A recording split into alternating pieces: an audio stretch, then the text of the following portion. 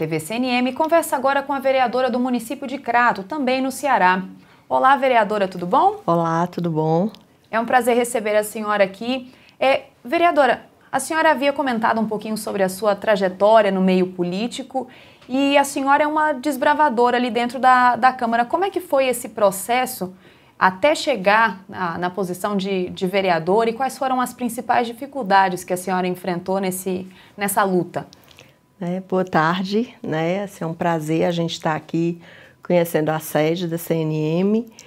E assim, é, estar vereadora, né, estar ocupando essa função de grande relevância no município do Crato, nos traz assim um orgulho e nos também nos remete a muitas responsabilidades no município, né? É um município de grande porte, que onde nós temos muitas dificuldades, mas também nós temos muitas potencialidades. E assim, lá hoje, atualmente, nós temos duas representantes mulheres na Câmara Municipal do Crato e é um orgulho né, para o município do Crato ter duas parlamentares, porque durante muito tempo as câmaras municipais não tinham nenhuma representante mulher, né? Então, nós lá, enquanto mulheres, estamos para defender é, os direitos de toda a população do Crato, mas com destaque às mulheres, principalmente as mulheres vítimas de violência, vítimas de inúmeras vulnerabilidades no nosso município.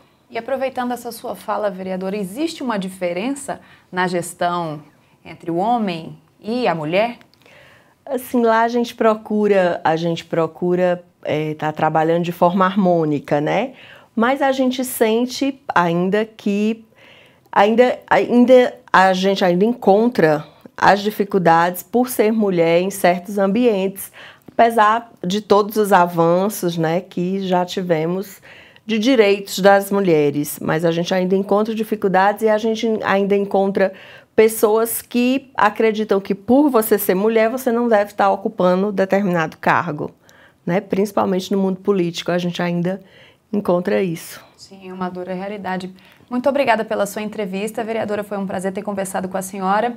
A TV CNM falou com a vereadora de Crato, no Ceará. Confira essas e outras entrevistas nas nossas redes sociais.